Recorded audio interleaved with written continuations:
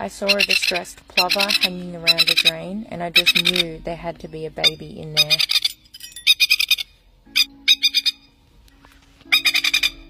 You can see how well it's camouflaged in the leaf litter.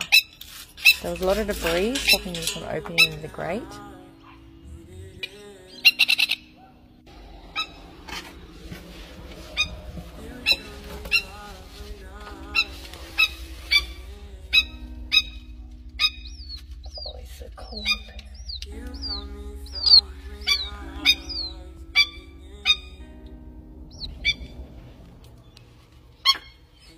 Parents watching over me the entire time. Got the heater going full blast. Just warming him up before I put him back. Starting to look a little bit more lively now.